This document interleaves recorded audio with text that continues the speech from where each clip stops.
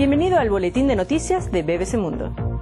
Las fuerzas leales al hombre internacionalmente conocido como el presidente electo de Costa de Marfil, Alassane Ouattara, tienen cercado en la ciudad de Abidjan al mandatario Laurent Gbagbo, quien se niega a dejar el poder. Según nuestro corresponsal en la región, el tiempo de Gbagbo se está terminando, pues muchos de los soldados desertaron.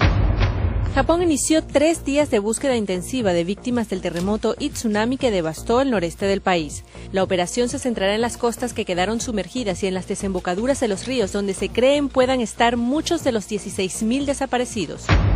En Siria, activistas convocaron la marcha Viernes de Mártires para honrar a aquellos que murieron en las recientes protestas contra el gobierno. El presidente Bashar Assad culpa de la revuelta a una conspiración extranjera.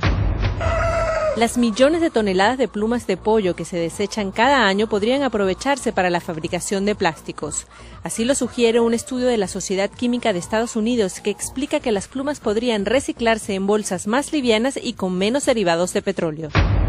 Encuentra información de contexto y análisis en bbcmundo.com.